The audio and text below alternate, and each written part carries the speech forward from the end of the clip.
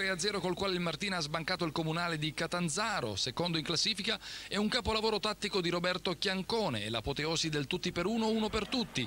Il tecnico martinese, in attesa della laurea in medicina, sta meritando quella di stratega del calcio a Martina. Nonostante la grave assenza di Berti, lui che ti fa lo sostituisce con Pizzulli che non è propriamente un incontrista e conferma il poker d'assi del gol con Piccioni e Calcagno larghi sulle fasce, Mitri e Prisciandaro più interni. Ti aspetti un Catanzaro arrembante a divorare spazi ed ammiri invece un Martina quadrato che non concede nulla se non uno sterile possesso di palla ai pur generosi calabresi. La spinta del Catanzaro si infrange puntualmente sulla linea Maginò eretta da Chiancone e quando non ci arrivano i difensori ci pensa Micio Maurantonio a fare i miracoli. C'è il sole a Catanzaro ma anche un vento freddo che non preoccupa il tifoso storico Mandarino che prima della gara sfoggia un monopezzo da Ferragosto. 500 gli impareggiabili martinesi disposti in curva sud a farsi sentire molto più dei 4.000 circa calabresi. A soffrire alla fine e a gioire con loro c'è il passionale presidentissimo avvocato Gianfranco Chiarelli e proprio nella porta della curva martinese Gioacchino Presciandaro scalderà i cuori biancazzurri con una doppietta da rapace del gol. Il Martina fa capire subito l'antifona. Dopo 11 minuti Reggio Acchino si ritrova davanti a Gentili e lo batte inesorabilmente. Cinque minuti dopo però il direttore di gara Gianmillaro di Messina vede un fallo da rigore inesistente su Moscelli ed assegna il tiro dagli 11 metri. Moscelli, vice bomber del girone, si fa ipnotizzare da Micio Mauro Antonio che respinge con sicurezza. Il Martina attende il Catanzaro, poi velocissimo schizza in contropiede mandando spesso in tilt i difensori giallorossi. Se ne accorge subito il tecnico Bitetto che tira fuori dopo appena 22 minuti il centrale Zappella ed inserisce l'ex campobasso Minadeo. La mossa non cambia granché la sostanza perché il Martina odierno è un computer programmato alla perfezione e l'unica volta che va in crash, è il ventottesimo, è il palo a riaccenderlo. Con un cardinale eccellente in fase di interdizione davanti alla difesa ed intelligente nelle ripartenze, gli esterni fanno un figurone, in particolare Piccioni che tenta anche la via del gol al 37esimo, ma il suo tiro in onore al suo cognome viaggia in cielo. Subito dopo al 39 Pizzulli, ottimo al rientro, rovescia in area un bel pallone che Hulk Prisciandaro sbatte rabbiosamente in rete strappando applausi anche agli sportivi calabresi.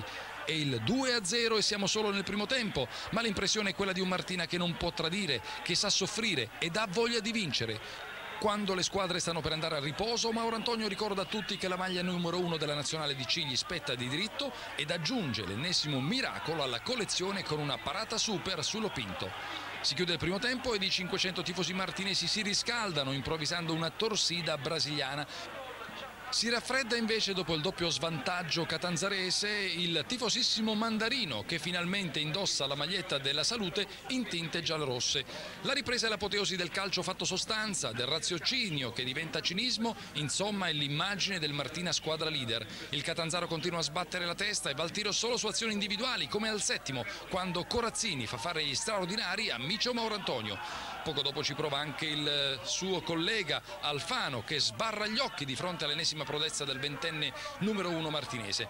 Il Martina non si disunisce mai e quando Sottili commette un errore che può costar caro, i compagni vanno a rincuorarli quasi fosse un esordiente diciottenne da proteggere. Anzi, quando c'è da riproporre, la squadra parte decisa, inserendosi nelle ampie praterie della difesa giallorosso e al venticinquesimo parte Piccioni, prende il pendolino e si invola sul binario mancino, poi uccella il portiere calabrese con un tiro cross smorzato da un difensore. 3-0 per il Martina e partita chiusa? Non ancora. C'è il tempo per assistere ad un altro atto della beatificazione di San Mauro Antonio che nega la gioia del gol al bravo Moscelli e l'opportunità del poker martinese quando Presciandaro va dentro, salta il portiere che lo mette giù. Il re dei bomber, accontentandosi della doppietta, concede il favore all'astinente Orazio Mitri a secco da sei domeniche, che però si fa parare il penalty da Gentili. Nulla di grave, i martinesi sono contenti lo stesso, anche se Mitri non ha segnato, oggi ci riuscirà la prossima volta. Ormai si è capito che questo Martina può contare non solo sui soliti noti, Mitri e Presciandaro, ma si sta dimostrando una squadra ed un gruppo che oltre a segnare è capace di far sognare i suoi impagabili tifosi. Intanto giunge il quinto successo consecutivo e l'opportunità di scavalcare il Giuliano fra non molto in classifica, ormai la distanza è di un solo punto. Gioacchino, che effetto fa essere il bomber più prolifico d'Italia? 17 gol hai anche scavalcato cugino Cristian Riganò. Ma sono contento per eh, la mia prestazione, i gol che ho messo a segno oggi, però io ringrazio la squadra che mi ha dato la possibilità di fare questi gol e poi su un campo come quello di Catanzaro che non ci avevo mai giocato eh, ho fatto una doppietta, indimenticabile per me. Tra l'altro hai sbagliato anche un terzo gol all'inizio che forse ti stavi mangiando un po' le mani. No, no, no, no. là il vento me l'ha, allungata un po', poi ho cercato di, di, di alpionarla sul destro per, per, per, calciare sul sinistro, ho sbagliato il controllo però la colpa è del vento. Avete giocato da grande squadra, non avete concesso niente al Catanzaro che è stato generosissimo, però sino all'ultimo minuto avete giocato su tutti i palloni.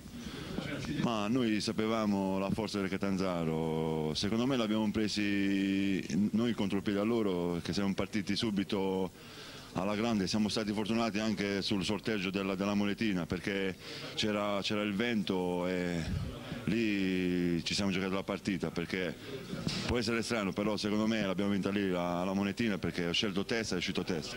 Il vostro è un gruppo grandioso, si è visto quando Sottile a un certo punto ha perso palla in area e si stava allontanando un giocatore del Catanzaro verso il forzo portiere e Sottile è stato incoraggiato e poi un altro gesto dove sei stato protagonista tu che hai lasciato l'incarico del calcio di rigore a Mitri anziché farti la tua tripletta.